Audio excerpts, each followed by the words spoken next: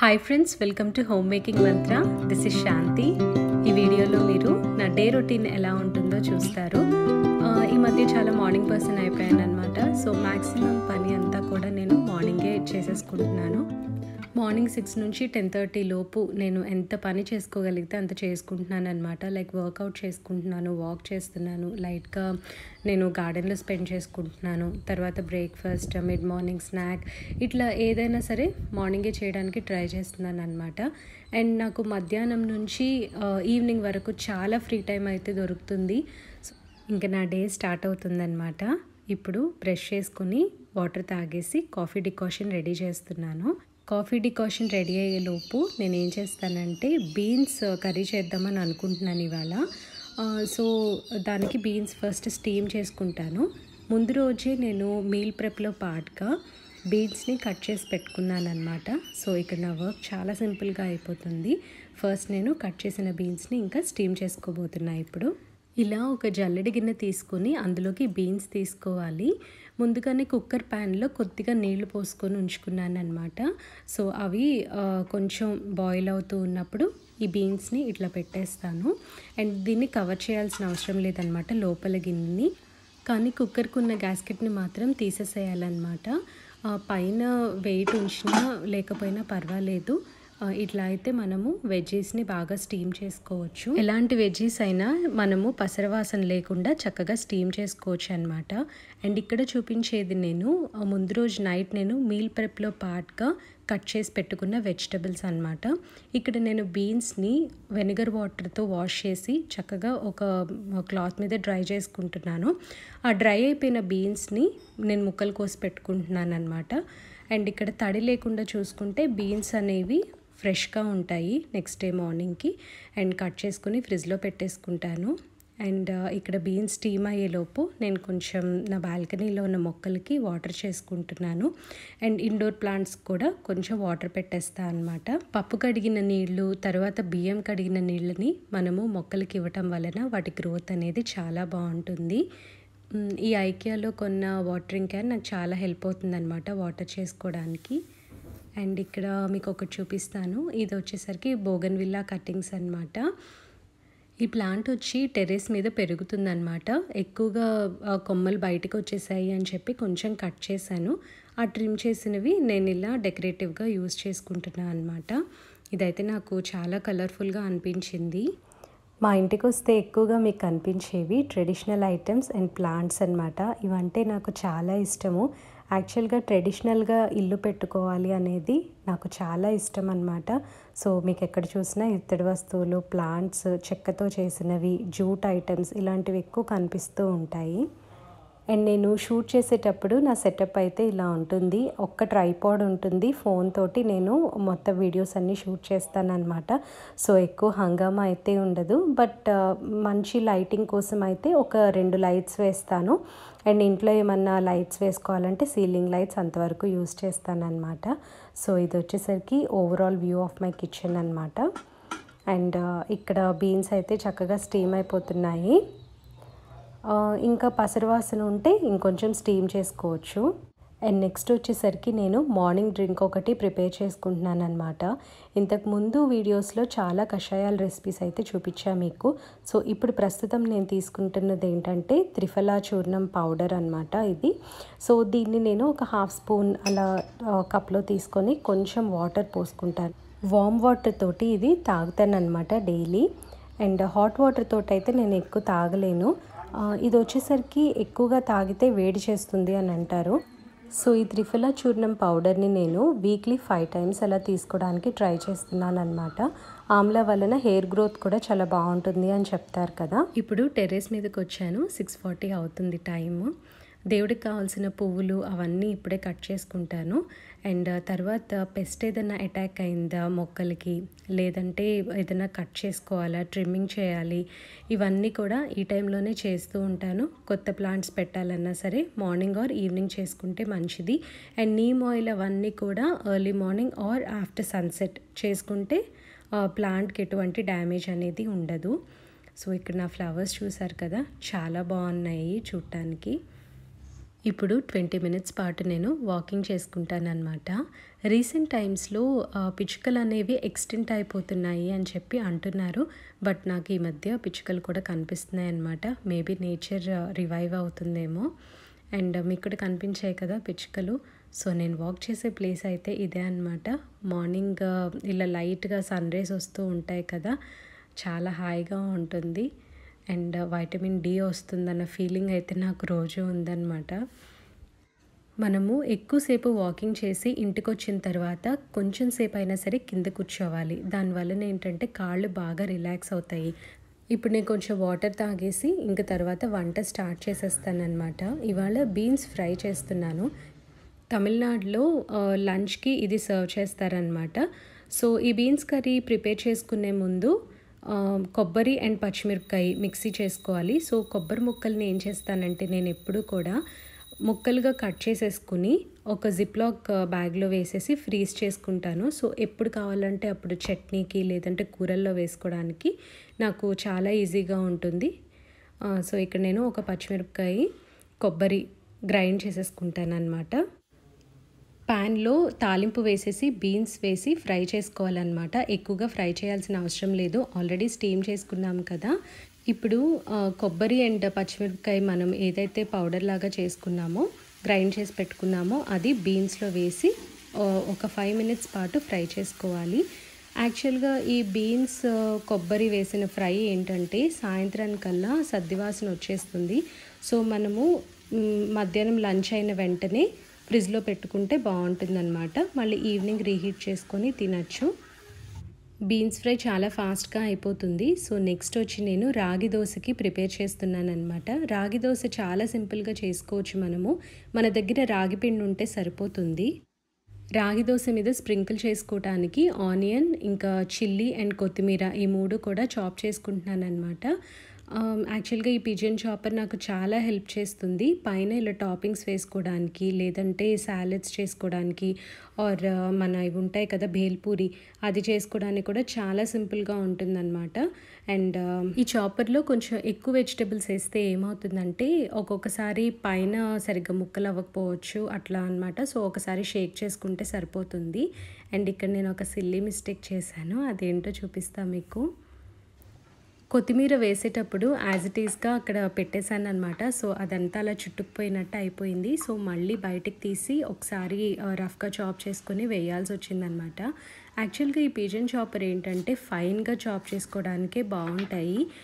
Chicken curry mutton కర్రీలోకి మనము సన్నగా కోస్తాం కదా ఆనియన్స్ సో అలా ఫైన్గా చాప్ చేసుకోవడానికి ఈ పిజన్ చాపర్ అనేది బాగా హెల్ప్ చేస్తుంది నాకు.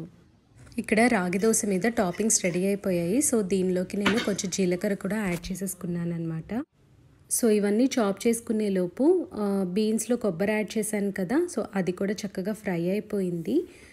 ఎక్కువగా ఫ్రై చేయకపోతే కొబ్బరి వేసిన తర్వాత సద్దివాసన త్వరగా వచ్చేస్తుంది అనమాట సో అది అవాయిడ్ చేసుకోవడానికి ఒక ఫైవ్ మినిట్స్ పాటు మనం ఫ్రై చేసుకుంటే సరిపోతుందన్నమాట కర్రీని. సో నెక్స్ట్ వచ్చేసి నేను రాగి దోశ ప్రిపేర్ చేసుకుంటున్నాను. మనది ఇడ్లీ బ్యాటర్ ఉంటుంది కదా కొంచెం ఒక వన్ వీక్ అయిపోయిన తర్వాత ఇడ్లీ బ్యాటర్ అనేది పులుపు వచ్చేస్తుంది అనమాట అలాంటి పిండి యూజ్ చేసుకొని రాగి దోశలు వేసుకుంటే చాలా టేస్టీగా వస్తుంది. ఫ్రెష్ బ్యాటర్తో కూడా dosa batter or idli batter fresh బ్యాటర్తో కూడా వేసుకోవచ్చు. బట్ ఏంటంటే కొంచెం పుల్లగా ఉంటేనే బాగుంటాయి అన్నమాట ఇవి మీకు ఫ్రెష్గా ఇడ్లీ బ్యాటర్ ఉన్నప్పుడు ఏం చేయొచ్చు అంటే ఒక వన్ అవర్ ముందు కలిపి పెట్టుకోవచ్చు లేదంటే ముందు రోజు కూడా కలిపి ఫ్రిడ్జ్లో పెట్టేసుకోవచ్చు అనమాట బయట పెడితే ఏంటంటే రాగి పిండి సద్దివాసన వచ్చేస్తుంది. మనము రాగులు అండ్ మినపప్పు నానబెట్టి దాన్ని మిక్సీ పట్టిన తర్వాత ఫర్మెంట్ చేసినది ఆ బ్యాటర్ వచ్చేసి సద్దివాసన రాదనమాట ఓవర్ నైట్ ఉన్నా సరే. బట్ ఇక్కడ ఏంటంటే మనకి రాగి పిండి తీసుకుంటున్నాను అనమాట నేను. సో రాగి పిండి and left over idli batter మనము కలిపేసేసి ఎక్కువసేపు బయట పెట్టామంటే సద్దివాసన వచ్చే ఛాన్సెస్ చాలా ఉంటాయి. సో అందుకని ఒక వన్ అవర్ ముందుగా మనము కలిపి పెట్టుకుంటే సరిపోతుంది. బట్ ఇక్కడ నేను ఏంటంటే ఇది నా ఇడ్లీ బ్యాటర్ కొంచెం పుల్లగా ఉందన్నమాట. అందువలన నేను అప్పటికప్పుడు స్ప్రౌటెడ్ రాగి పిండి తీసుకున్నాను. దాంట్లో ఇడ్లీ బ్యాటర్ కలిపేసి ఇలా దోశలు వేసేసాను అనమాట ఈ దోశలు అయితే చాలా చాలా టేస్టీగా ఉంటాయి. మీరందరూ కంపల్సరీ ట్రై చేయాలి ఒకసారి ఇది. రాగి దోశలు వేయాలంటే నేను ఎప్పుడూ కూడా నాన్ స్టిక్ ప్యానే యూస్ చేస్తానన్నమాట. ఎందుకో మరి దోశలు రావేమో అన్న ఫియర్ ఒకటి ఉంది నాకు. నార్మల్ దోశాస్ అయితే నేను అయన్ తవా యూస్ చేస్తాను. బట్ ఇవాళ నేను నాన్ స్టిక్ తోటి దోశలు చక్కగా వేసేసుకున్నాను అనమాట ఇక్కడ దోశ ఒక్కొక్కసారి క్రిస్పీగా వస్తుంది ఒక్కొక్కసారి మెత్తగా ఉంటుంది.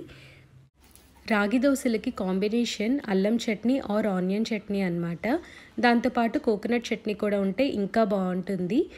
యాక్చువల్గా అల్లం చట్నీ అండ్ ఆనియన్ చట్నీతో అయితే అసలు సూపర్గా ఉంటుంది. వేరే చట్నీస్ ఏవి కూడా అవసరం లేదు. బట్ మా హస్బెండ్కి అండ్ మా బాబుకి కూడా కోకోనట్ చట్నీ అండ్ అల్లం చట్నీ కాంబినేషన్ వాళ్ళకి బాగా ఇష్టం అనమాట యాక్చువల్గా ఈ కోకోనట్ చట్నీ ఇవాళ చేయలేదన్నమాట. నిన్న లెఫ్ట్ ఓవర్ దాంట్లో కొంచెం ఉంటే నేను ఫ్రీజ్ చేసేసి పొద్దున్నే లేవగానే బయట పెట్టేసుకున్నాను. ఇంకా దాన్ని ఏం వేడి చేసే పని కూడా లేదు. అండ్ ఇక్కడ నేను కోకోనట్ చట్నీ అండ్ అల్లం చట్నీ తోటి విత్ కాఫీ ఇది నా బ్రేక్ఫాస్ట్ అనమాట ఇవాళ. సో ఇలా అయితే మా బ్రేక్ఫాస్ట్ కంప్లీట్ అయిపోయింది. నల్లేరు అందరికీ తెలుసు కదా సో దాంతో నేను రసం పెడుతున్నాను. యూజువల్గా నల్లేరుతోటి నల్లేరు తొక్కు పచ్చడి ఇలా చేస్తూ ఉంటారు. సో నేనైతే ఇది రసంలో వేయటం సింపుల్ అని చెప్పి నేను ఇలా నా ఓన్గా నేనే ఫాలో అవుతూ ఉన్నా ఇది. అండ్ నల్లేరు రసం చేసుకోవాలి అని అంటే మనము లేతగా ఉన్న నల్లేరు తీసుకుంటే దీనికి బాగుంటుందన్నమాట. ముదురుగా ఉన్నది కొంచెం మనము ఎక్కువ వర్క్ చేయాలి దానికి అంటే సైడ్స్ అన్నీ తీసేసి అలా. అండ్ ఈ నల్లేరు బాగా ఫ్రై చేసుకొని మనము రసంలోకి యాడ్ చేసుకోవాలన్నమాట. నార్మల్గా చింతపండు చారు అవన్నీ ఎలా చేసుకుంటాము? వాటర్ పసుపు తర్వాత జీలకర్ర చింతపండు ఇవన్నీ మరిగిస్తూ ఉంటాం కదా. సో అలానే నేను యూజువల్గా మనం రసం ఎలా పెడతామో అలా ఒక పక్కన పెట్టేశాను అనమాట తాలింపులో నేను నల్లేరుని బాగా ఫ్రై చేశాను.